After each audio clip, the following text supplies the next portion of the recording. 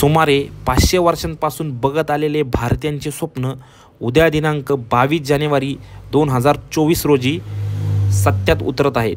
त्यामुळे पुण्यातील विविध भागात कार्यक्रमांचे आयोजन केले गेले आहे.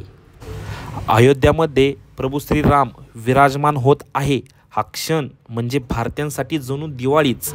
आणि सण आणि चतुर्थी म्हटलं तर दगडूशेठ हलवाई गणपतीजवळील विद्युत रोषणाई आणि फुलांची सजावट ही बघण्यासारखी असते. त्यामुळे आम्ही थेट जाऊन पोचलो पुण्यातील दगडूशेठ हलवाई गणपती मंदिरापाशी. ज्युनियर फक्त पिक्चरच्या गाण्यावर नाही तर जयबाप्पाच्या आरतीवर सुद्धा नाचतो. मंदिरावरील विद्युत रोषणाई बघून डोळ्याचे पारणे फिटते आणि फुलांची सजावट बघून मन प्रसन्न होते.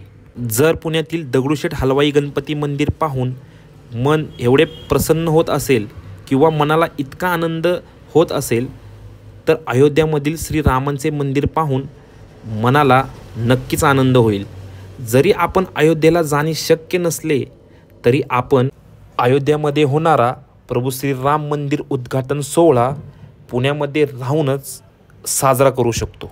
तर अयोध्यामधील श्रीराम मंदिर प्रतिष्ठापन सोहळा साजरा करण्यासाठीची तयारी दगडूशेठ हलवाई गणपतीची तर पूर्ण झाली. तुम्ही तुमच्या घरी उद्यासाठी काय तयारी केली आहे हे कमेंट बॉक्समध्ये नक्की सांगा.